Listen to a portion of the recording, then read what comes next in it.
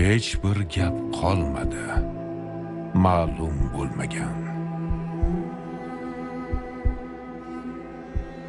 Juda oz sir qoldi.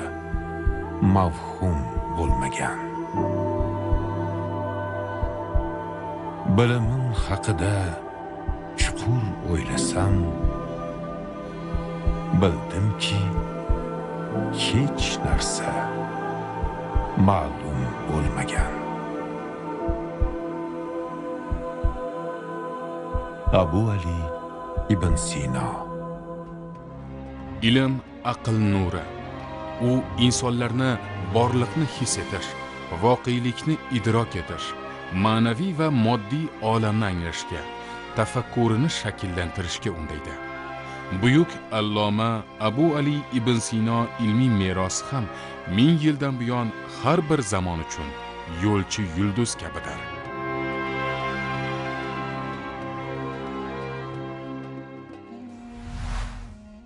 Bu tadbir an'anaviy olti yildan beri har yili o'tkazib kelinadi. Nafaqat kasallikni ko'rish balki insonni ya'ni bemorni his qilib unga demak davo berish. Ibn sinoning tibbiyotdagi xalq tabobati dorishunoslik borasidagi ishlari barcha davrlar uchun juda ahamiyatli hamda muhimdir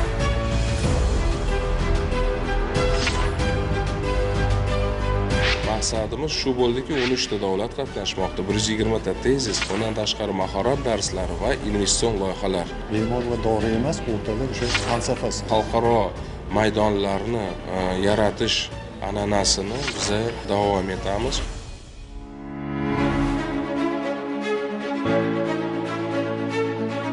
poytaxtimizdagi sog'liqni saqlash vazirligi toshkent farmatsevtika instituti va ibn sino jamoat fondi bilan hamkorlikda abu ali ibn sino va zamonaviy farmatsevtikada innovatsiyalar mavzusidagi an'anaviy to'rtinchi xalqaro ilmiy amaliy anjumani tashkil etildi.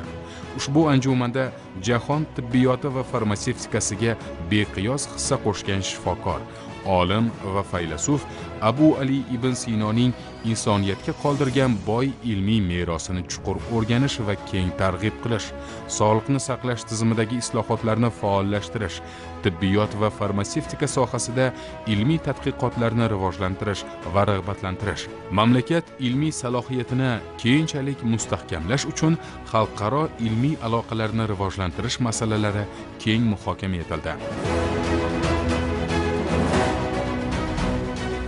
Tadbirda oltita seksiya ish olib bormoqda va shuni ta'kidlab o'tish lozimki bu tadbir an'anaviy olti yildan beri har yili o'tkazib kelinadi. ikki ming o'n sakkizinchi yildan boshlab o'tkazib kelinadi va bu tadbirda ko'p olimlar ekspertlar qatnashadi. Bugungi tadbirimizda shuni aytishim lozimki to'rtta xalqaro maydon yaratdik.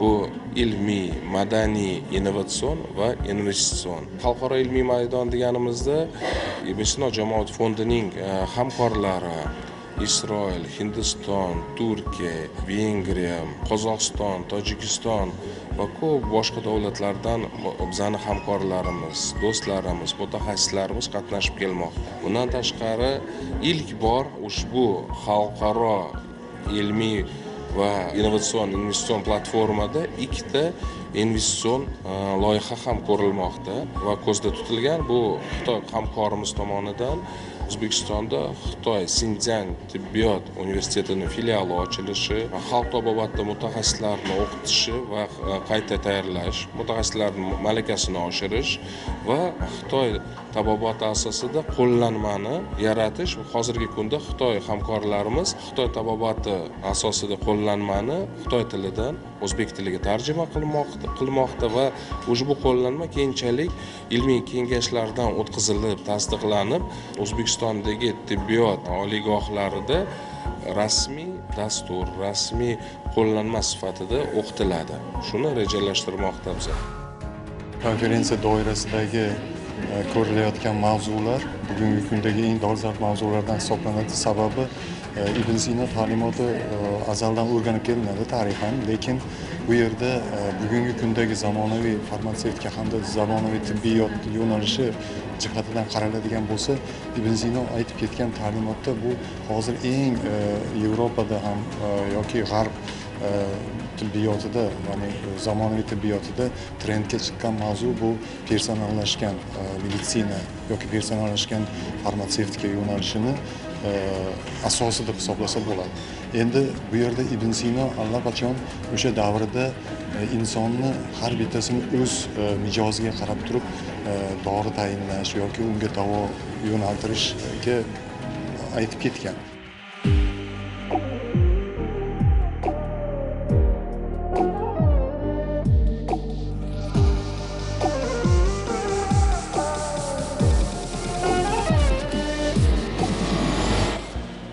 Paytgacha qilingan meditsina yoki tibbiyot yoki farmatsevtika yo'nalishlari bu umumiy odamlar uchun yoki bemorlar uchun belgilangan.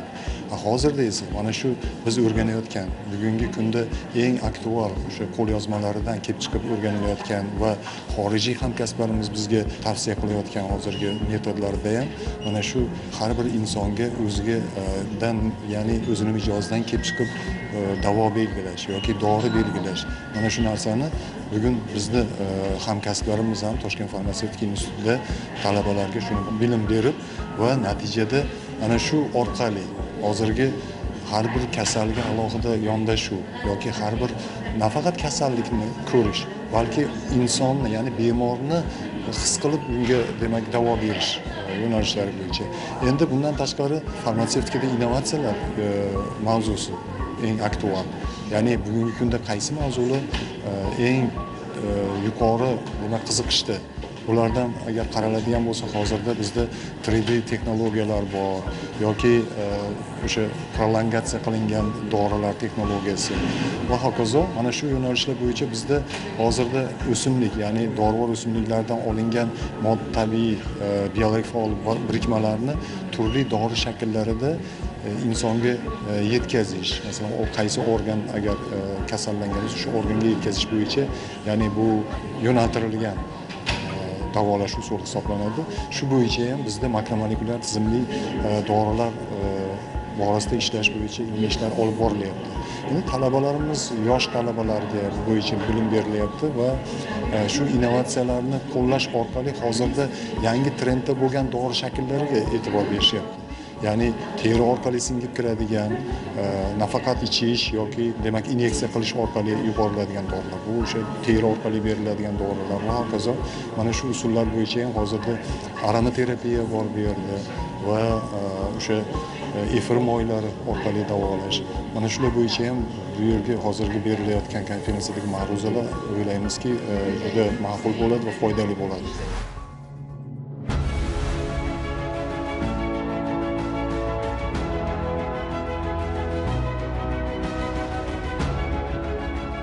Jahon tibbiyoti va farmatsevtikasiga hissa qo'shgan olim abu ali ibn sinoning insoniyatga qoldirgan boy ilmiy merosini chuqur o'rganish va keng targ'ib qilish tibbiyot va farmatsevtika sohasida ilmiy tadqiqotlarni rivojlantirish maqsadida tashkil etilgan tadbirda 300 nafar mahalliy olim ekspertlar shifokorlar farmatsevtlar kimyogarlar biologlar hamda belarus vengriya germaniya isroil koreya rossiya tojikiston turkiya ukraina xitoy qozog'iston qirg'iziston va hindistondan xorijiy mutaxassislar ishtirok etdi.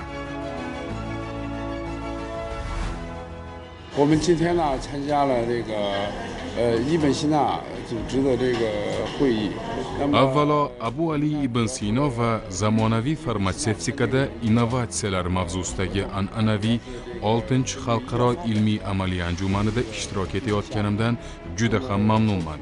Konferensiyada biz ibn sino jamoat fondi bilan hamkorlik memorandumini imzoladik. Unga tibbiyot yo'nalishidagi bir necha innovatsiya va ilmiy ishlarni o'zida aks ettirgan. Umuman olganda ibn sino o'zigacha o'tgan tabiblarning tajribalarini sinchiklab o'rganib ularni yanada mukammallashtirgan ularga yangi muolajalarni qo'shib o'sha zamondagi xalq tabobatida ishlatilib kelingan dorivor o'simliklar va mevalarning tibbiyotdagi ahamiyatini har tomonlama ochib bergan.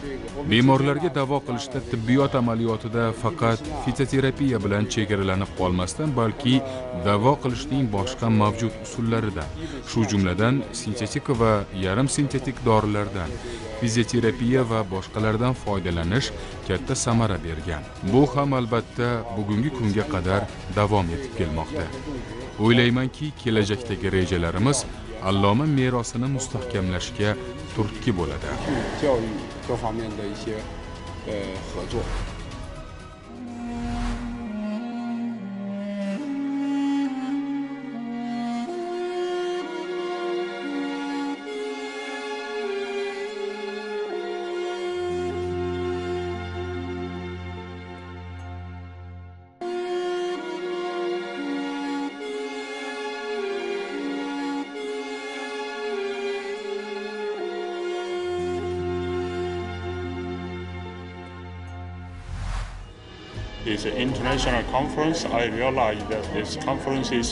bugungi konferensiya ibn sinoning mahalliy dorivor o'simliklarni qo'llash asoslari haqida bo'ldi. Ibn sinoning dori turlarini tayyorlash to'g'risidagi faktlari farmakognoziya sohasida aytilgan fikrlardan kam bo'lmagan muhim ahamiyatga ega bo'lib o'z navbatida farmatsevtikaning boshqa ikkinchi fani.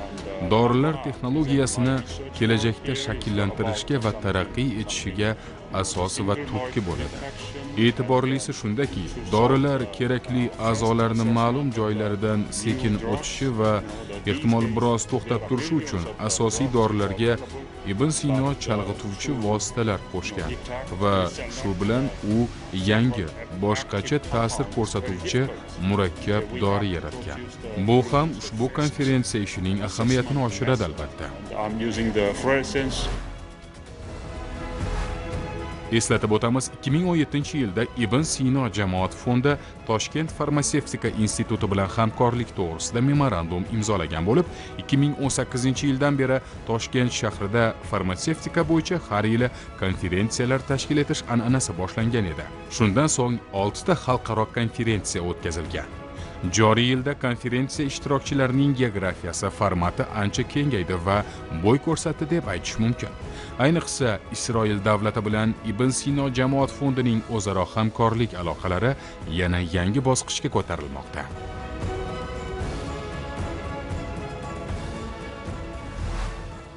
This time coming to Uzbekistan for the pharmaceutical and Ibn Sina conference. o'zbekistonga ibn sino xalqaro ilmiy amaliy konferensiyasiga keldik aytish kerakki ibn sinoning tibbiyotdagi xalq tabobati dorishunoslik borasidagi ishlari barcha davrlar uchun juda ahamiyatli hamda muhimdir.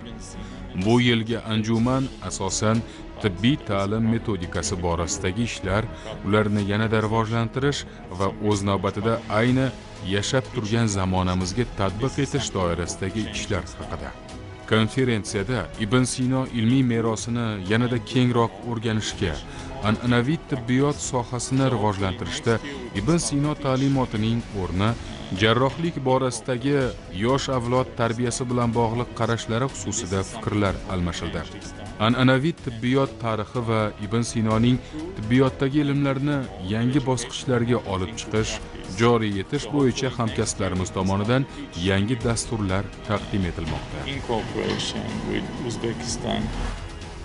Doktor gidongur isroilda shifobaxsh o'simliklar assotsiatsiyasini prezidenti va xalq tabobati markazini direktori hamkorimiz do'stimiz bilan birgalikda o'zbekistonda ibn sino nomli xalq tabobati markazini ochish va ushbu xalq tabobati markazi ibn sino ishlatgan shifobaxsh o'simliklarni va ibn sino ishlatgan qo'llagan xalq tabobati an'analarini va uslublarini asosida bu ushbu markaz o'z ishini olib borishi ko'zda tutilmoqda. Qarabsizki mana hozir bugungi kunda onlayn va offlayn tarzda uch yuzga yaqin e, olimlar qatnashmoqda. Ilmiy to'plamda bir yuz yigirmata chet el olimlari o'zini maqola tezislarini berdi. Olti yilda erishgan maqsadimiz shu bo'ldiki o'n uchta davlat qatnashmoqda. Bir yuz yigirmata tezis bundan tashqari mahorat darslari va investitsion loyihalar ko'rib chiqiladi va o'ylaymanki e, jamoat fondi hamkorlari orqali davlatimizga investitsiyalar kiritiladi va e, ish joylari yaratiladi. Xalq tabobati ibn sino bobomiz ishlatgan dorivor o'simliklarni yanada biz faolroq ishlatamiz va an'analarni xalq tabobatidagi an'analarni biza jonlantiramiz. Va albatta bu kelgusida bu an'anani xalqaro maydonlarni e, yaratish an'anasini biza davom etamiz. Gibrid formatdagi mazkur tadbirda ta'kidlanganidek mamlakatimiz va xorijiy olimlarning ilmiy ma'ruzalari to'plandi. Natijada konferensiyaning ilmiy tezislardan iborat maxsus to'plami nashr etildi. Konferensiyada ishtirok etishga katta ilmiy qiziqish bildirildi. Hozirgi kunda ibn jamoat fondi farmatsevtika bo'yicha xalqaro hamkorlik maydonini yaratdi. O'tgan yildan boshlab xalq tabobati bo'yicha xalqaro hamkorlik maydoni yaratilgan. Undan tashqari ibn sino jamoat fondi har ikki yilda bir e, buxoroda e, ibn bobomizni kindik qoni to'kilgan yurtda an'anaviy xalqaro ibn sino o'qishlari o'tkaziladi. Bu yili oktyabrda buxoroda o'n ikkinchi xalqaro e, ibn sino o'qishlari o'tkazish rejalashtirilgan va mavzusi abu ali ibn sino va tamaddun.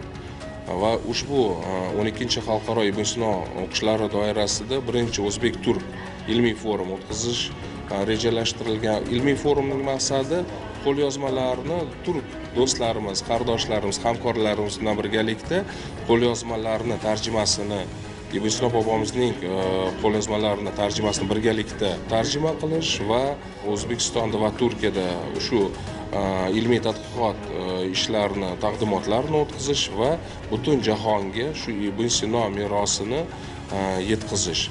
Bundan tashqari o'n ikkinchi xalqaro ibn sino o'qishlari doirasida ikkinchi xalqaro xalq tabobati konferensiyasi ham o'tkazish anjumani ham o'tkazish rejalashtirilgan. Bu ham buni ham an'ana sifatida biz kirgizmoqchimiz va davom ettirmoqchimiz. Har yili ibn sino jamoat fondi o'z hamkorlari bilan ibn sino bobomizning tug'ilgan kunini nishonlaydi. Bu yilgisi e, ibn sino bobomizning bir ming qirq uch yilligiga bag'ishlangan bo'ladi. Va bu e, ibn sino bobomizning shaxsini va merosini o'rganish orqasidan bu faqat nafaqat ilmiy madaniy potensialimizni rivojlantirish balki e, siyosiy imijimizni chet el xalqaro arenalarda olg'a surish va undan tashqari yoshlarimizni o'z tarixiga o'z vataniga g'urur E, yo'nalishida e, tarbiyalash. Chunki o'z tarixini bilgan o'z olim mutafakkirlarini bilgan va g'urur bilan yashaydigan yoshlar bu albatta bu davlatni e, rivojini asosi poydevori bo'ladi.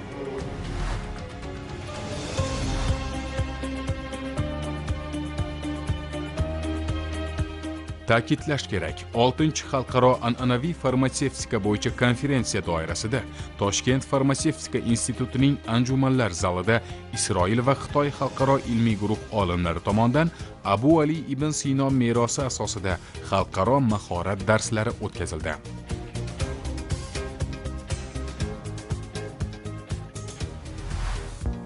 Toshkent farmatsevtika institutida uchta mahorat darsi bo'lib o'tdi. Xitoy isroil va o'zbekiston ekspertlari mahorat darslari o'tkazdi. Va qarabsizki bu xalqaro anjumanning amaliy tomoni. Bundan tashqari mana bu innovatsion deganda bu maydonda innovatsion maydonda hamma o'zimizni olimlar o'zimizni ekspertlar o'zini fikrlari bilan o'zlarini erishgan yutuqlari bilan va chet el mutaxassislar ham o'zini yutuqlari va ilmiy tadqiqot ishlari bilan fikr almashdi va tajribalar almashilmoqda. Talking about chemotherapy shuningdek tadbir doirasida onkopunktur va osteopatiya o'z o'ziga yordam berish uy sharoitidagi dorixona. Avitsenaning puls diagnostikasini amalga oshirish tavsiyalari mavzularida mahorat darslari o'tkazildi. O'ylaymanki xalqaro anjuman doirasidagi mahorat darslari zamonaviy va an'anaviy tibbiyot borasidagi yangi ishlanmalarni bilimlarni bir birimizga taqdim etishda yaxshi vosita bo'lib xizmat qiladi. Dorivor o'simliklar bilan davolashning afzalliklari to'g'risida gapirib o'tadigan bo'lsak shifobaxsh o'simliklar ko'p asrlar mobaynida sinovlardan o'tib kelayotgan omil hisoblanadi. Organizmga fiziologik ta'sir ko'rsatadi. O'simliklar va odam organizmi hujayralarining tuzilishi bir biriga juda yaqin bo'ladi. Sintez yo'li bilan olingan kimyoviy moddalar esa organizm uchun yot modda hisoblanadi. Xulosa qilib aytganda ulug' alloma o'z davrida dori vositalarining qo'llanilish qonuniyatlarini yuqori mahorat bilan asoslab yoritib berganki qaysiki ular hozirgi davrda ham 27 ahamiyatini saqlab turibdi. Bu abu ali ibn sinoni yuksak tafakkur egasi tabobat ilmini chuqur egallagan yuqori iqtidorli olim ekanligining dalilidir. Xitoylik hamkorlarimiz tomonidan o'sha e, suyakni qanday joylashuvini tashqi tomondan tashxislash va uni davolashga qaratilgan yo'nalishlar ya'ni ibn sino ta'limoti asosida e, bundan tashqari e, igna terapiyasi bu igna terapiyasi orqali ham demak qizdirish igna terapiyasi orqali davolash usullari yoki e, bizni isroillik hamkorimiz tomonidan berilgan o'sha e, ibn sinoni psixologiyasi ya'ni bemorni davolayotgan paytda ibn sino nimalarga e'tibor bergan? U har bir kasallikni mijozi bo'yicha ya'ni quruq ho'l e, va hokazo mana shu mijozdagi qarab turib demak baholashi hozirgi bugungi kunda faqat meditsinani quruq e, ya'ni fan sifatida ilm sifatida nima emas uni bir falsafa falsafona yondashuvni ko'rish mumkin endi bu jihatdan nimani beradi agar mana bizni yoshlarimiz hozir qatnashishyapti e, konferensiyada ular e, oldingi qotib qolgan dogmatik qarashlar ya'ni zamonaviy tibbiyotda ham bu narsa azaldan bor. Lekin masalan bemor va dori bemor va dori emas o'rtada o'sha e, falsafasi. Ya'ni o'sha bemor shu narsaga qanaqa e, javob qaytaryapti shu doriga. Ertaga u davolanyaptimi yoki davo ta'sir qilmayaptimi? Mana bu jihatdan.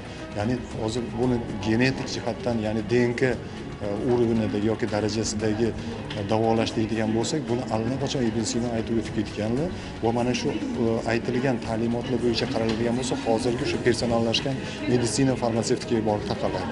Shu jihatdan bizni yoshlarimiz hozir talabalarimiz mana shu bilimlarni olgach shu bo'yicha yangi izlanishlarga qo'l urishi va e, kelajakda zamonaviy ya'ni hozirgi xorijda olib borilayotgan eng aktual mavzularda ilmiy ishlarni qilib uni natijasida e, bizni e, demak farmatsevtika jihatidan olinadigan ilmlarimiz ham o'sha e, jahon уровенidagi ya'ni darajasidagi ilmlar bo'ladi deb umid qilamiz Конечно, и производство эфирных масел существовало. efir moylari bundan bir yarim ming yil oldin ham mavjud bo'lgan lekin hakim ibn sino o'z davrida bu sohaga o'zining katta hissasini qo'shgan asosiysi o'sha vaqtda alloma efir moylarini tayyorlashda bug'li sovutish texnikasini qo'llagan.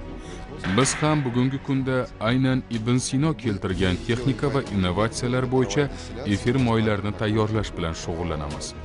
Aslida insoniyat qadim zamonlardan buyon o'simliklarni nafaqat ozuqa manbai sifatida balki davo maqsadida ham qo'llab kelgan.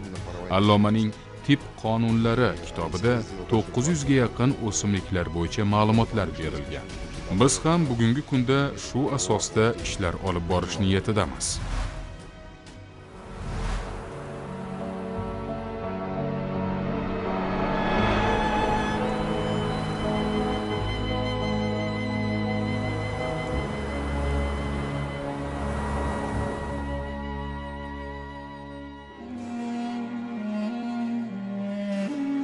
Dunyoda rivojlanib borayotgan bugungi tibbiyot va farmatsevtikaning taraqqiyotiga ibn sino o'zining g'oyat katta ta'sirini o'tkazgan. Bundan 10 asr avval ibn sino yashab faoliyat ko'rsatgan davrda mustaqil farmatsevtik xizmat bo'lmagan. U tabiblikdan endigina ajralib mustaqil ravishda shakllana boshlagan edi. Shundan so'ng dorivor o'simlik mahsulotlarining yuqori sifatli bo'lish mezoni va unga qo'shiladigan talabni aniqlash bilan ibn sino kelajak farmakognoziya faniga asos solgan. Dorivor o'simlik mahsulotlarini yig'ish vaqtlari quritish usullari va saqlash muddatlari to'g'risida ibn sino fikrlari. Uning dorivor mahsulotlarni yuqori sifatli bo'lishiga qo'ygan talablari albatta kelajakda farmakognoziyaning fan sifatida shakllanishiga va bu fanning maqsadlarini aniqlashga so'zsiz o'z ta'sirini ko'rsatdi.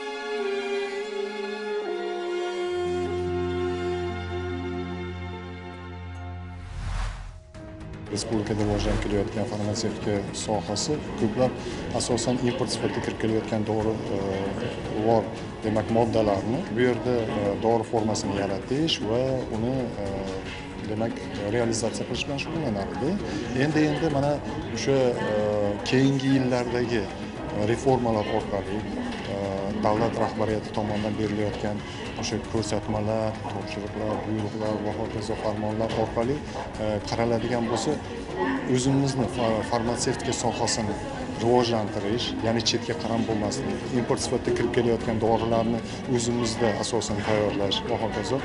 Endi bunga asos qaraladigan bo'lsa xomashyoga borib taqaladi va bu xomashyo bizda hozirda dorivor o'simliklar ko'p ya'ni iqlimimiz shunga mos va quyoshli kun hisoblanadi shunga asosan e, o'simliklar o'zida eng maksimum biologik faol birikmalarni yig'adi. Lekin bu bilan chegaralanib qolish kerak emas chunki albatta o'simlik zaxiralari cheklangan va bu biz sintetik e, xomashyoga ham asoslanib e, ilmiy ishlar olib borishimiz va u asosida dorivor preparatlar yaratishimiz kerak. Shu jihatdan olib qaraydigan bo'lsak toshkent farmatsevtika institutida ham mana shu yo'nalishda boshlangan. Hozirda kompleks birikmalar asosida Э, demak biologik faol birikmalar yaratilyapti va e, bitta narsani e'tiborga olish kerak. Bular albatta e, klinik oldi sinovlardan o'tish kerak. Ya'ni hayvonlarda sinalishi kerak. Undan keyin insonlarga o'tiladi bu klinik sinovlarda. Mana shu bosqichlardan o'tgan taqdirda undan keyin biz e, ishlab chiqaruvchi korxonalarga bizni ishlanmalarimizni taqdim qila olamiz.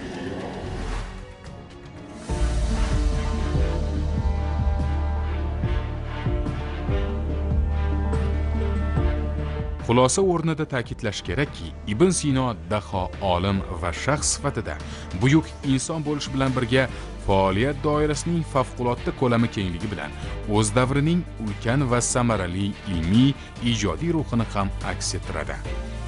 Uning ulug' zamondoshi beruniy yozganidek o'sha davr shu qadar hayratlanarli shunchalar samarali davrki ammo ziddiyatlardan sira ham xoli emas edi.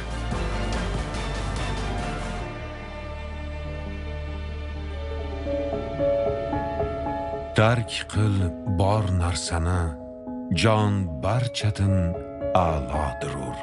Jon kamoli ilmdandir ilmdandir so'lu sog' jon agar bir shisha bo'lsa ilm unda sham chiroq hikmati insonni bilgil ul chiroqda misli yog' ul agar ravshan yonar sen ham salomat ham tirik.